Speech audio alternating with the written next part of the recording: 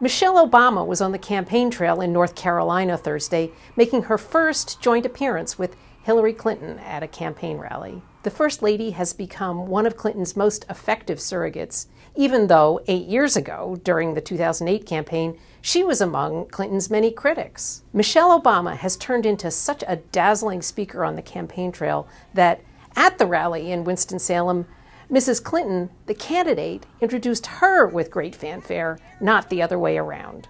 And I am so excited to be introducing our amazing First Lady, Michelle Obama.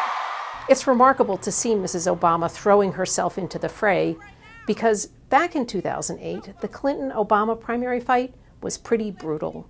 At one point, while campaigning for her husband, Mrs. Obama took a swipe at the Clintons' marital problems, which Donald Trump has taken to quoting. And remember what his wife said. His wife came up with that quote that's all around. They said, Oh, you could never. Then I see it was her that said it, right?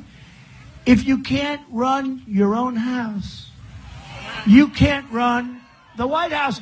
I had no idea it was her. Now, however, Michelle Obama is trying to help motivate those people who supported her husband to turn out for Mrs. Clinton. She really caught fire on the trail a couple weeks ago when she gave an emotional speech in New Hampshire attacking Donald Trump for his treatment of women. Too many are treating this as just another day's headline, as if our outrage is overblown or unwarranted, unwarranted as if this is normal just politics as usual.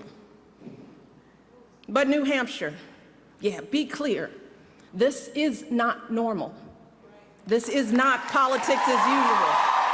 The latest Wall Street Journal poll found that Michelle Obama's approval rating was 59%, making her one of the most popular public officials in America today. Mrs. Clinton, with her 40% approval rating, might want to put the First Lady on the stump every chance she can get.